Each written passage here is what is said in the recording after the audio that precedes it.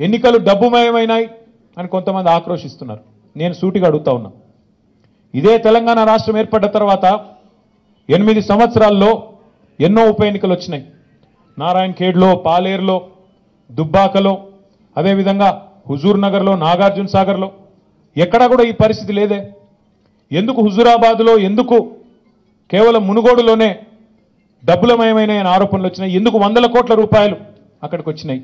ఎందుకంటే బడా బడా ధనవంతులు కాంట్రాక్టర్లు. అక్కడ ఈటెల రాజేందర్ అనే ధనవంతుడు ఇక్కడ రాజగోపాల్ రెడ్డి అనే ధనవంతుడు. వీళ్ళిద్దరూ దిగిన తర్వాత ఆ ఉప ఎన్నిక ధనమయమైంది. తద్వారా ఎన్నిక కలుషితమైంది అక్కడ హుజురాబాద్ కానీ ఇక్కడ మునుగోడు కానీ తప్ప ఇతర ఏ ఎన్నికల్లో కూడా.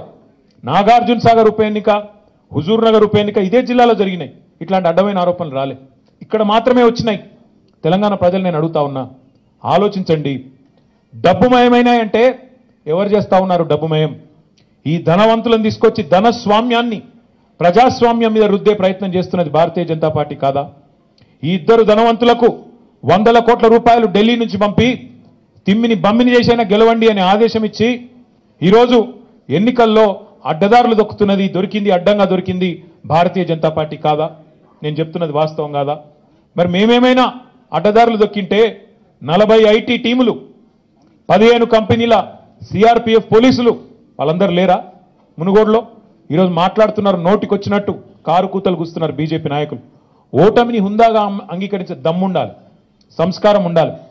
మేము కూడా గతంలో దుబ్బాకలో ఒక వెయ్యి ఓట్లతో స్వల్ప తేడాతో పోయినాం. హుజూరాబాద్లో కూడా ఓడిపోయినాం. ఓడిపోయిన తర్వాత వెంటనే హుందాగా ఒప్పుకున్నాం. ప్రజాస్వామ్యంలో ప్రజాభిప్రాయాన్ని గౌరవించే ఇంగితం సోయి సంస్కారం ఉండాలి.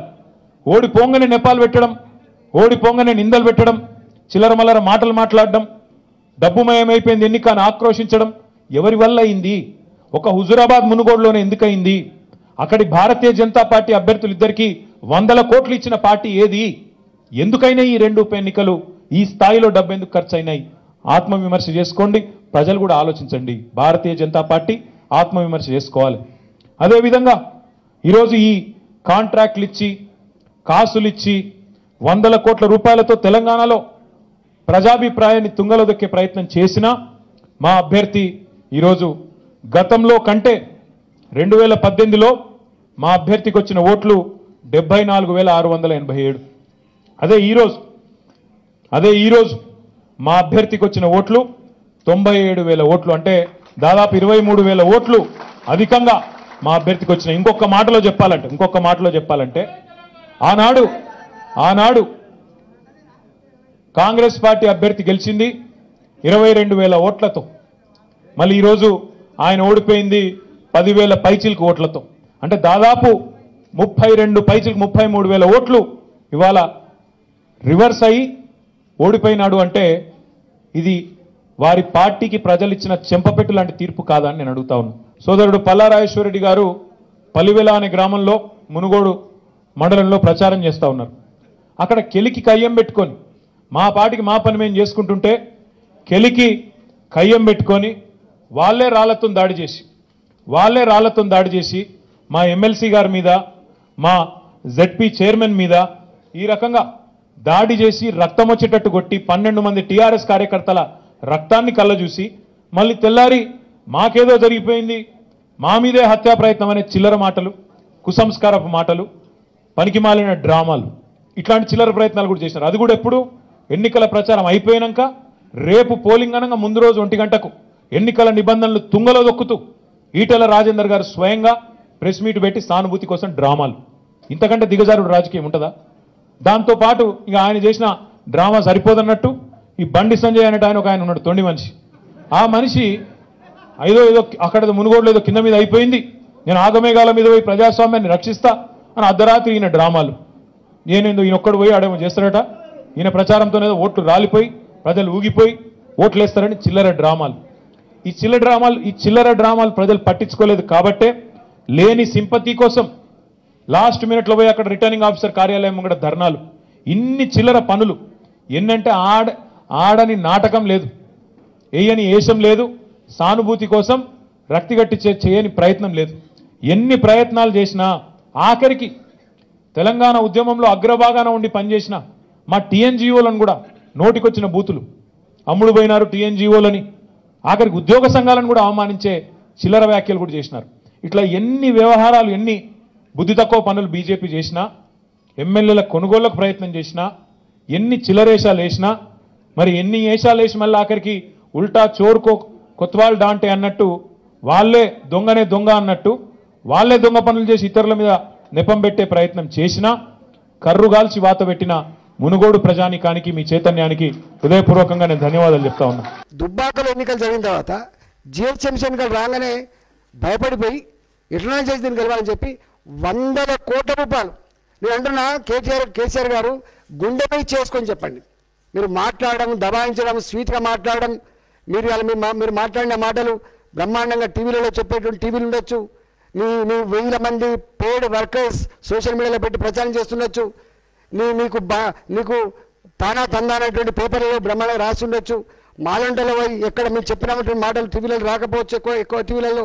మాలంటలు మాట్లాడిన మాటలు ఎక్కువ పేపర్లో రాకపోవచ్చు కానీ నేను మీ అంతరాత్మ సాక్షి అడుగుతా ఉన్నా జిహెచ్ఎంసీ ఎన్నికలలో మీరు ఎన్ని వందల కోట్లు ఖర్చు పెట్టిండు ఒక్కొక్క కార్పొరేటర్ మీద ఎన్ని కోట్ల రూపాయలు ఖర్చు పెట్టిండు మీరు చెప్పగలవా చెప్పండి? మరి అక్కడెక్కడ ధనస్వామ్యం ఉండే? ఎవరు ఎవరు ధనవంతులు ఎవరు ఉన్నారు? మీరు చెప్తున్నట్టుగా ఈటెల రాజేంద్ర గారు కోమటిరెడ్డి రాజగోపాల్ రెడ్డి గారు ధనవంతుడు ఓకే. కానీ కార్పొరేటర్ ఎక్కడ ధనవంతుడు చెప్పండి? మీరు వందల కోట్ల రూపాయలు ఖర్చు పెట్టిన మాట వాస్తవం కదా? అన్నిటికంటే దౌర్భాగ్యం ఏంటంటే ఈ గ్రాడ్యుయేట్ ఎన్నికలలో కూడా హైదరాబాద్ వరంగల్ నల్లగొండ జిల్లాకు సంబంధించిన గ్రాడ్యుయేట్ ఎన్నికలు కూడా మొట్టమొదటిసారిగా చదువుకున్న వాళ్ళకు కూడా ప్రలోభపెట్టి చదువుకున్న వాళ్ళకు కూడా దావతలు ఇచ్చి చదువుకున్న వాళ్ళకు కూడా పైసలు ఇచ్చి ఆఫర్ ఇచ్చి రెండింటికి రెండు గెలిచిన మాట వాస్తవం కాదా చెప్పండి. ఇవాళ ఎక్కడ మొదలైందండి? పరకాల్లో మొదలైంది. అనమకొండ వరంగల్ పార్లమెంట్ సీటుకు మొదలైంది ఫస్ట్ ఎన్నిక. నాకు బాగా గుర్తు. వరంగల్ పార్లమెంట్ మొదలైంది. అప్పుడు మొదలైన రెండు వేల పద్నాలుగు తర్వాత కేసీఆర్ గారు డబ్బును నమ్ముకున్నాడు మద్యాన్ని నమ్ముకున్నాడు ప్రలోభాలను నమ్ముకున్నాడు పోలీసులు నమ్ముకున్నాడు. చట్టం లేదు సిస్టమ్ లేదని చెప్పి నేను చెప్తూనే ఉన్నా. కానీ అయినా కూడా ఇవాళ మా మీద ఈ ప్రచారం చేయడం అనేది మా డబ్బులే పట్టుకున్నా అంటాడు. ఎంత బాధ అంటే కమాండ్ కంట్రోల్ సెంటర్ పెడితే కమాండ్ కంట్రోల్ సెంటర్ దేనికోసం పెట్టాలి? క్రిమినల్స్ కోసం పెట్టాలి. చిన్న పిల్లల మీద కూడా రేపులు చేసి హైదరాబాద్ ప్రతిష్టని గంగల కలుపుతున్నటువంటి దుర్మార్గులే పెట్టాలి. ఇవాళ మనం చూస్తూ ఉన్నాం హైదరాబాద్ ప్రతిష్ట మసకబారుతుంది. చిన్నారి పిల్లల మీద కూడా రేపులు జరుగుతూ ఉన్నాయి. ఏ విశ్వనగరం అని చెప్పి మనం చెప్పుకుంటున్నామో ఏ గొప్ప పోలీసు ఉందని చెప్పుకుంటున్నామో గా నగరంలో గవాలను పట్టుకోవాల్సినటువంటి కమాండ్ కంట్రోల్ సెంటర్ ఇవాళ డ్రగ్స్ అమ్ముతున్నారని చెప్పి డ్రగ్స్ మాఫియా అడ్డగా మారిపోయిందని చెప్పేటువంటి దాంట్లో భూ మాఫియాలకు భూ దందాలకు పాల్పడి బ్రోకర్ల భర్తం పట్టాల్సిన దొంగల భర్తం పట్టాల్సినటువంటి జాగాలో ఆ కమాండ్ కంట్రోల్ సెంటర్లు ఇవాళ భార్యాభర్తలు మేము మాట్లాడుకునే ఫోన్ల మీద నువ్వు ట్యాప్ పెట్టి మా కొడుకు మేము మాట్లాడుకునే ఫోన్ల మీద మీరు ట్యాపులు పెట్టి మా కుటుంబ సభ్యుల మీద మీరు ట్యాప్ పెట్టి మా పిఎల మీద ట్యాప్ పెట్టి మా గుమస్తాల మీద పెట్టి మా దగ్గర ఉన్న గన్మెన్లను కూడా నువ్వు నువ్వు కోవట్టుగా మార్చుకొని మా డ్రైవర్లతో మీరు మీరు సంబంధాలు పెట్టుకొని అసలు చేస్తున్న పని ఏంటండి ఇవాళ మా గుమస్తా ఆట కోటి రూపాయలు తొంభై లక్షలు పట్టుకొని బయటకు వెళ్తుంది అవునా నేను తొంభై లక్షల రూపాయలు పట్టుకొని బయటకు వెళ్తుంది నీకు ఎట్లా తెలిసింది నేను తొంభై లక్షల రూపాయలు?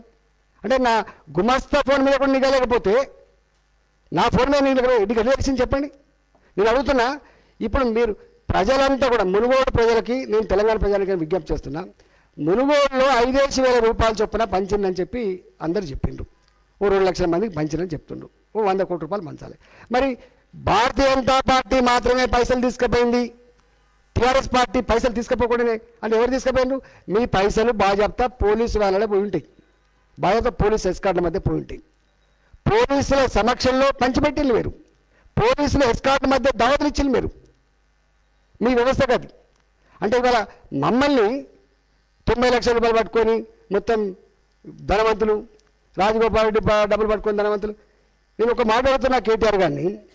మీకు ఇప్పటిదాకా కొంత మీరు జెన్యున్గా ఆలోచిస్తారని చెప్పి భావించడం. పద్దెనిమిది వేల కోట్ల రూపాయలు కాంట్రాక్ట్ వచ్చింది రాజగోపాల్ రెడ్డికి. అది గ్లోబల్ టెండర్ ఆయన ఇప్పుడు కాదు టీఆర్ఎస్ పార్టీ పుట్టక ముందు రాజగోపాల్ రెడ్డి గారు ఒక contractor coal mines contractor coal మైన్స్లో ఆయన టీఆర్ఎస్ పార్టీ పుట్టక ముందు ఇరవై సంవత్సరాల కన్నా ముందే ఆయన కోల్ కోల్ మైన్ కాంట్రాక్టర్. ఆయన ఎక్కడనో కోల్ ఇండియాలో ఎక్కడనో ఒక టెండర్ వేసుకున్నాడు. గ్లోబల్ టెండర్ అది. గ్లోబల్ టెండర్లో నెగోషియేట్ చేసుకున్నాడు నెగోషియేట్ చేసుకొని మళ్ళీ తగ్గించుకొని తీసుకున్నాడు. అది ముప్పై ఐదు సంవత్సరాలు. ముప్పై ఐదు సంవత్సరాల కాలంలో పనిచేస్తే దాని వర్త్ పద్దెనిమిది వేల కోట్ల రూపాయల కాంట్రాక్ట్ టెండర్ అది. నేను ఒక్కటే అడిగిన నిన్న మొన్న అడుగుతున్నా నిన్న అడుగుతున్నా కేటీఆర్ గారికి నీ కాళేశ్వరం ప్రాజెక్టులో లక్ష కోట్ల రూపాయలు ఏదైతే నువ్వు టెండర్లు వేసినావో ఈ లక్ష కోట్ల రూపాయలను ఈ కాంట్రాక్టర్లు మొత్తం తిన్నరామని మీరు చెప్పండి? మిషన్ భగవతలో మీరు నలభై వేల కోట్ల రూపాయలు ఖర్చు పెట్టిందని చెప్తారు. నలభై వేల కోట్ల రూపాయలు ఖర్చు పెట్టి నేను మిషన్ భగవత ఇంటిని నిలిచే స్కీమ్ అన్నావు. ఈ నలభై వేల కోట్ల రూపాయలు ఏ కాంట్రాక్ట్లు అయితే తీసుకున్నారో ఆ నలభై వేల కోట్లు నలభై వేల కోట్ల రూపాయలు పైపులు వేయకుండానే నల్లాలు పెట్టకుండానే మూడలు పెట్టకుండానే పని చేయకుండా నలభై వేల కోట్ల రూపాయలు తీసుకుండా ఎంత దుర్మార్గం అండి మీది? అంటే మీ చేతుల్లో మీడియా ఉందని నీ చేతిలో సోషల్ మీడియా నడిపేటువంటి వేలాది మంది పేడ వర్కర్స్ని పెట్టుకొని ఇవాళ గోబర్స్ని మించినటువంటి దుర్మార్గమైన ప్రచారం చేసి ఎంతకాలం తెలంగాణ ప్రజానికని మీరు మోసం చేస్తారు? ఎంతకాలం అని మాలాంటి వాళ్ళ మీద మీరు దాడి చేస్తారు? ఇరవై ఏళ్ళు మీతో ఉన్నాం మేము. ఇరవై ఏళ్ళు మీతో ఉన్నాం మేము. మీతో ఉన్నప్పుడు మేము దాసవాళ్ళకు గుర్తు రాలే మీకు. మీతో ఉండగా మేము గుండాలో గుర్తు రాలే. మీ పల్లెల్లో మేము పల్లెల్లో మేము నేను నా భార్య పోయినది వంద సార్లు చెప్తున్నా. ఎంక్వైరీ చేయి నీకు దమ్ముంటే. పల్లెవరంలో మా మీద వాళ్ళు దాడి చేసిందా? వాళ్ళు మా మీద దాడి చేసిందా? దమ్ముంటే ఎంక్వైరీ చేయి. నువ్వు నిజాయితీ ఉంటే ఎంక్వైరీ చేయి. నేను అడుగుతున్నా సవాల్ చేస్తున్నా. నేను ఆ ఊరికి ప్రచారం కోసం పోయినా. నేను దాడి చేస్తున్న నా భార్య నేను కలిసిపోతానండి నీకైనా జ్ఞానం ఉండదా నేను నా భార్య కలిసిపోతామా దాడి చేయడానికి. మహిళలను తీసుకొని పోతామా? గ్రామస్తుల్ని. హారతుల మధ్య పూలు చదువుతున్న మధ్యలో మహిళలను తీసుకొని పోతామా? నీకు ఏం జ్ఞానం ఉండదు మీకు? అరే మీకు ఏది పడితే మాట్లాడు. మేమంటే రక్తాన్ని కలిసి గుండారా మేము నీకు గుండాలకు కనబడుతున్నామా మేము